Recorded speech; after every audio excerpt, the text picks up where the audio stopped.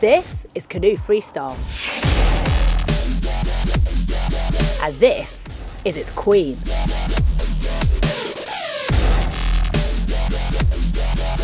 Claire O'Hara is a multiple world champion and one of Britain's most decorated paddlers. Um, I've won eight World Championships titles.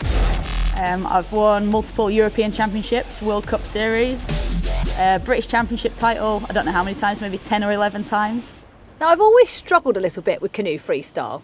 It kind of feels a bit counterintuitive to me to just sit there on a wave rather than use it to actually go somewhere. So I'm hoping some of the O'Hara magic will rub off on me. So Claire, I'll be honest with you, I haven't even had a lot of success in the past even just staying on a wave. So talk to me about how you're going to help me with that. So what we're going to do today is we're going to go into the inlet gate just here and you're going to have a go at doing some basic tricks to begin with, which is a 360 degree spin. And then after that, we're going to try and do some front flips, some front loops, which you can go absolutely massively airborne when you get the hang of it. But to begin with, just trying to control the boat as it falls over and do a front somersault is going to be quite entertaining.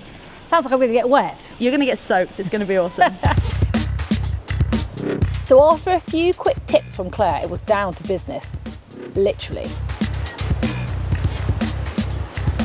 Canoe freestyle is all about pulling tricks for points. Paddlers ride what's known as a stopper and fit as many tricks as they can into the allotted time.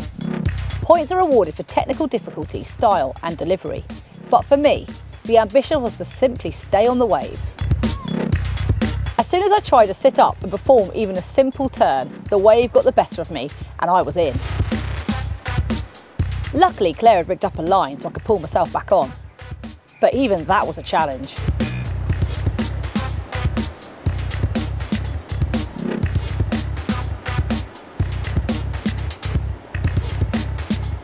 Only one thing to do, go back up to the top and try again. Second attempt. At least I was facing in a different direction, which in my eyes was a huge achievement. I was starting to feel a bit more confident riding the wave, even if I did look like I was a rookie on a bucking bronco. Claire tried to encourage me by showing me a front flip, but all I was thinking was, no chance. I needed to do something though, so I thought I'd try facing the other way. Now, I don't know if that's an official move, but I'm calling it the Reeves Reverse Splat. Okay, third time lucky, and this time I really wanted to get some kind of trick under my belt. Claire seemed to think I'd got myself into a fairly good position on the wave, and to be honest, her enthusiasm and belief in me was beginning to make me feel guilty. I needed to do something half decent, so I went for the big one.